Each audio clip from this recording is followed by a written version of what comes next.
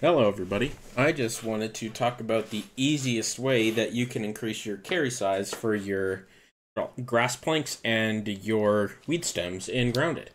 And the way that is going to work is through the red ant armor. So we can see here, hauling strength. For each piece that we have, we can increase it up by two individually. But if we have all three pieces together, we can carry from a base of 5 all the way up to 14. So I have some ant armor here made already. I can grab it out of my uh, my chest here, and if I equip it, I now have the full bonus. And let's say, just to show you, you can see all the way down at the bottom right there, it says I can carry up to 14 items at once, which is super, super handy for early on when you're trying to um, build your base so you don't have to constantly go back and forth. You can carry 14 pieces of grass or weed stem at the same time.